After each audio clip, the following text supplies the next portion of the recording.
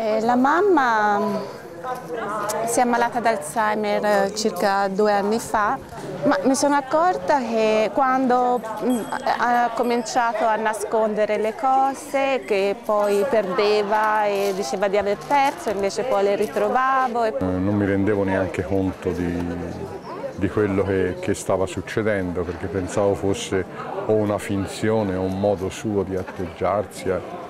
Salve, buonasera. Sono Francesca, piacere. Io ho un marito che ormai sono cinque anni. Iniziò col perdere eh, l'orientamento e non riusciva a ritrovare la strada giusta per tornare a casa.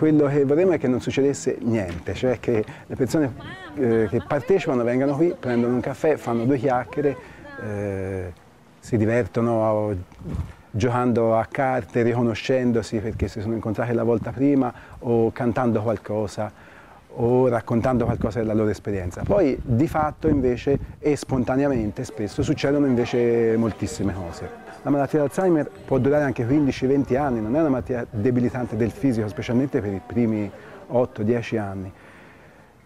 Quello che succede è che queste persone piano piano perdono capacità cognitive, ma per tanti anni continuano a mantenere capacità relazionali e a mantenere capacità eh, eh, emotive.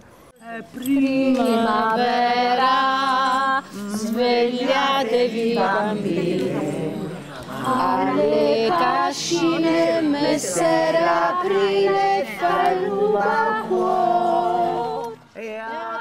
quello che cerchiamo di fare è di creare un ambiente dove queste capacità relazionali possono continuare a svilupparsi, a mantenersi e direi anche e soprattutto per aiutare i familiari di queste persone.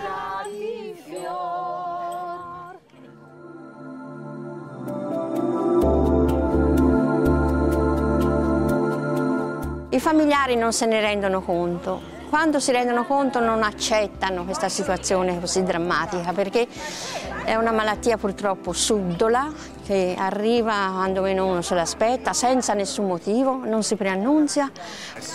Ora sono sola con lui. I figli sono? Come assenti perché lavorano giustamente se io anche devo cercare mio figlio non so dov'è nessuno le dà una mano? Ma non solo non mi danno una mano. Ma quello che mi ha addolorato è che si sono lamentati i vicini.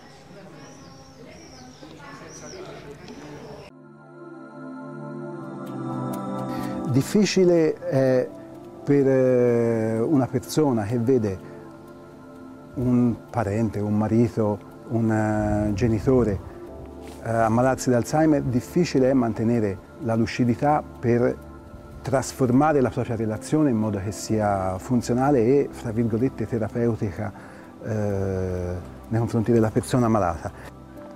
Spesso chi si ammala di Alzheimer è consapevole di quello, è il primo a essere consapevole di quello che gli sta succedendo, ma spesso questa persona lo tiene per sé, lo tiene per sé per eh, lunghi periodi in cui cerca addirittura di nasconderlo ai propri cari, ai propri familiari.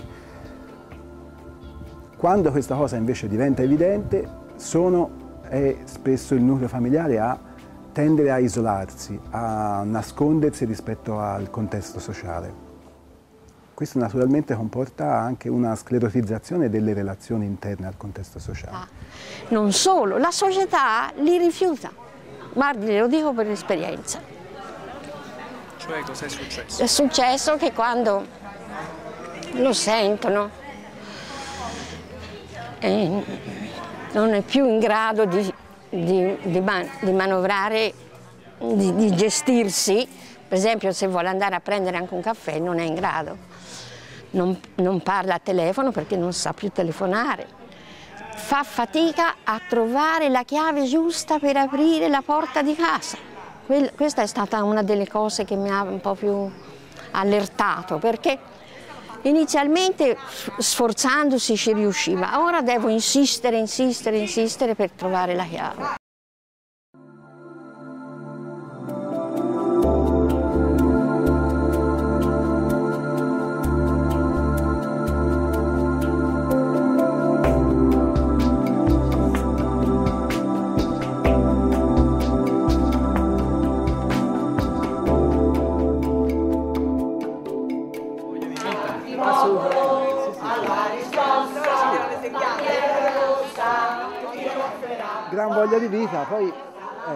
Ti avvicini a qualcuno delle persone, specialmente dei parenti, anche delle persone che stanno sorridendo in questo momento, e gli fai qualche domanda, ti descrive una situazione di grande sofferenza, di grande dolore.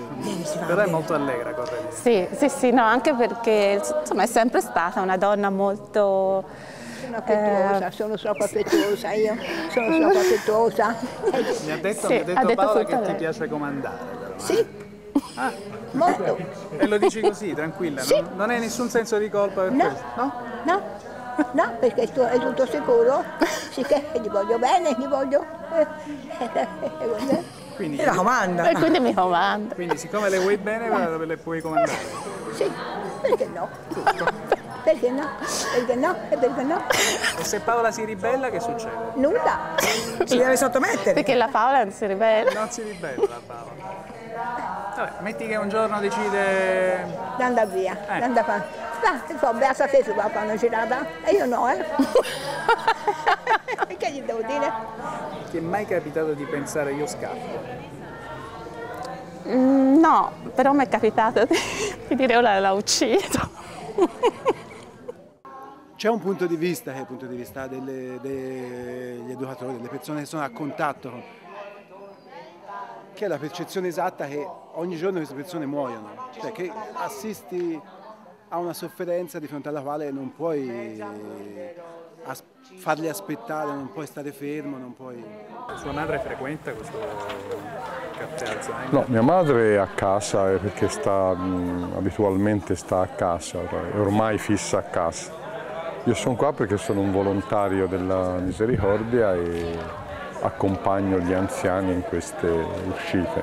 È un mondo strano, è un mondo a sé che non si riesce a decifrare. Quindi quello che riescono a, mh, a manifestare questi probabilmente è perché si riesce a toccare alcuni tasti loro che, e hanno delle, delle piccole reazioni. Però il loro mondo è completamente diverso, ecco, non- si riesce a entrarci solo in minima parte e solo se, si riesce, se ci si perde continuamente dietro avere la pazienza di starci, di seguirli per sollecitare una- anche una minima reazione.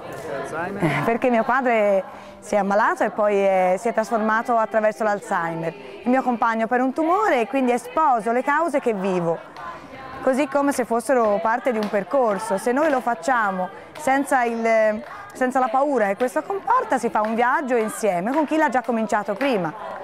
Si sopravvive al dolore perché si diventa capaci di farne un'esperienza nella vita di tutti i giorni. Allora mio padre è qui con me oggi, Ivo per esempio gli assomiglia in maniera incredibile. Io quello che faccio per Ivo oggi lo facevo per mio padre.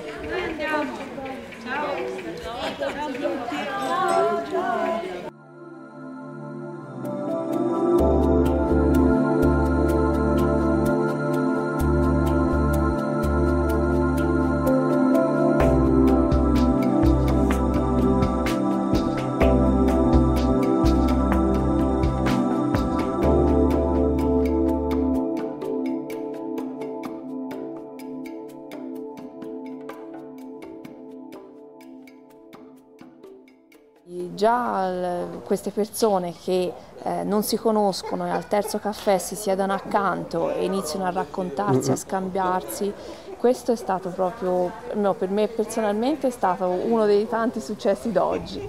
Sì. Eh, vanno via con l'idea di tornare e questo mi sembra già che sia un passo importante. Gli ultimi saluti che abbiamo fatto ci hanno proprio detto eh, grazie e torneremo il 28 al prossimo caffè. Luigi, non me lo ricordo, mi ha detto, bello, qui sono tutti amici, mi ha detto.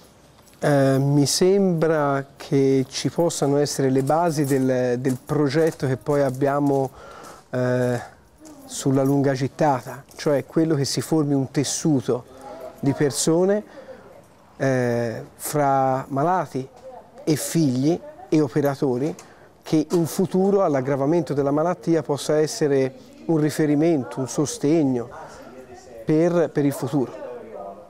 Sì, oggi mi sembra di aver visto qualcosa che nasce in questo senso.